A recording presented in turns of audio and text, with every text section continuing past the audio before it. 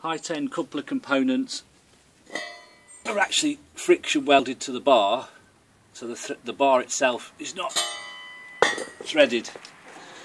The actual coupler section is on the upper part of the cage. You would normally leave three or four turns to create a lip. The cage is made in a factory as one and then the bars are marked so the cage can go back together as it would be with Lenton couplers. So lower the upper cage, bars are marked, normally just turn the coupler each bar a small amount just to take. Once it's on you can then fasten them all the way up.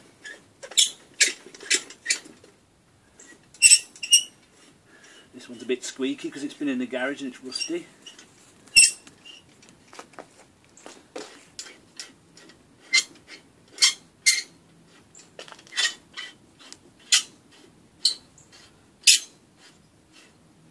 Small locking nut to stop the coupler going back up.